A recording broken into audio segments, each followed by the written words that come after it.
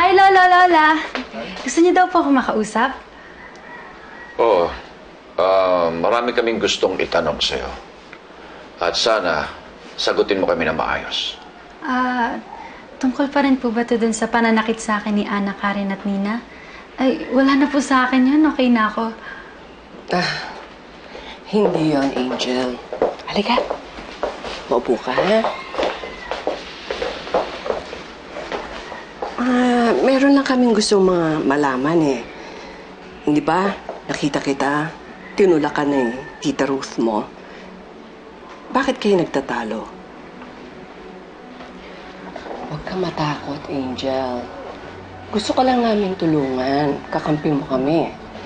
Gusto namin tulungan kayo ni Andres. Ay, ay, okay lang naman po kami ng tatay Andres ko eh. Wala naman po kami problema.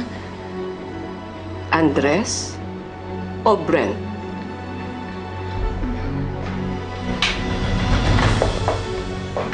Niloloko niyo pa kami magkama. Ha? Hindi siya ang tunay na Brent. Ay, hindi po, Lolo. Nagkamali lang po kayo ng dinig. Umamin ka sa akin. Hindi ikaw ang tunay naming apo. Hindi ikaw ang tunay na anak ka rin nina.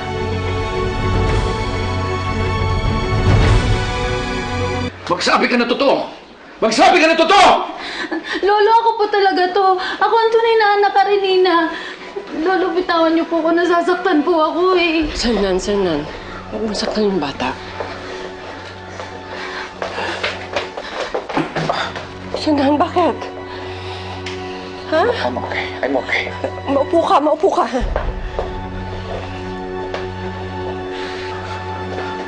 Uncle Auntie, I have the answers. Peke lahat ng papeles si Brent. Tiloko lang tayo nung mag-ama.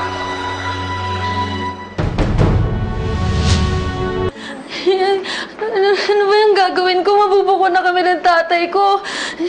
Tatay, nasan ka ba?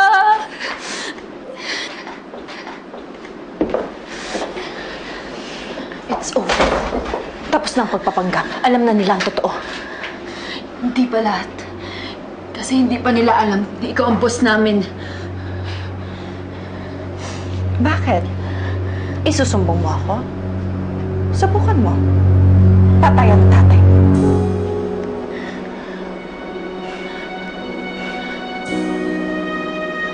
Napakasama mo talaga!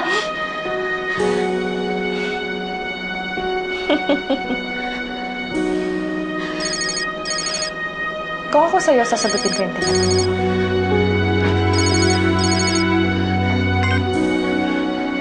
Hello? Hello, Angel.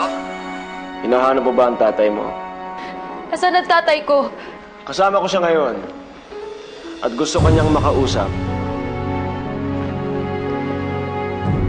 Hello? Hello, anak? Tay! Tay! Tay, nabuko na po tayo. Alam na nila ang sikreto natin. Nasaan ka po ba? Anong ginawa nila sa'yo, ha? Makinig ka muna sa akin, Angel. Gusto ko sundin mo si Ruth. Tutulungan niya tayong makatakas. Huwag mo siyang idadamay. Huwag mong sasabihin na siya may pakana ng lahat ng ito. Dahil kung hindi, anak, pagpatay na tayo.